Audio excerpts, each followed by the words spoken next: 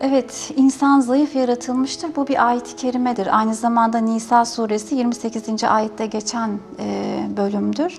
Neden zayıf yaratılmıştır? Çünkü Cenab-ı Hakk'a e, karşı her daim ona e, muhtaç olduğunu hissetme hissiyatı. Yani bunu hissetmesi açısındandır. E, ve her daim ona sığınma ihtiyacını hissetmesi açısından hani hikmet boyutuyla bakacak olursak bundan dolayıdır. Yani mesela e, Aleyhisselatü Vesselam'ın bir hadis-i şerifi var. Hadis-i şerifte e, Cebrail Aleyhisselam bir gün Efendimizin yanına gelir ve Efendimiz'e şunu söyler. Der ki yani şirk koşmadan ölen kişiyi e, cennetle diyor müjdele.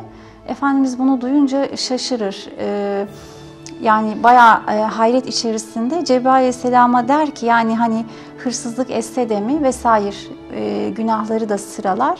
E, Cebrail Aleyhisselam'ın orada verdiği cevap evet hırsızlık dahi olsa ve sair günahlar dahi olsa hani cennetle müjdele şeklinde bir e, izahı var.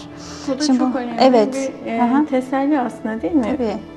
Yani zayıf yaratılmış olan bir insan hani hangi hata ve kusurun içerisine düşmüş olsa da böylesi bir tövbe kapısının açık olduğunu gösteren bir hadisi şeriftir.